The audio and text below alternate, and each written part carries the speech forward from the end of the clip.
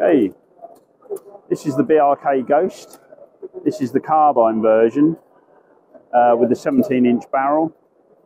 Uh, the new BRK silencer. That's the short version silencer, the MF121.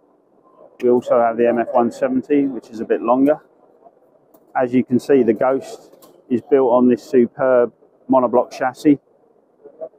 Solid billet of aluminium, uh, machined in our factory. Very rigid, very precise and very solid.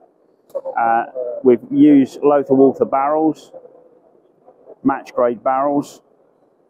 The Ghost is uh, regulated with a Huma regulator. This one has a 300cc bottle. The Plus version has the 480cc bottle. There's a power wheel on the back to adjust the spring tension for the hammer spring.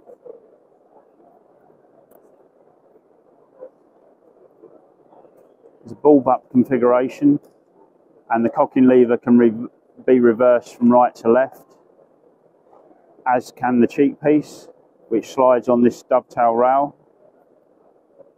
along with the optic rail which can also be adjusted to suit the shooter.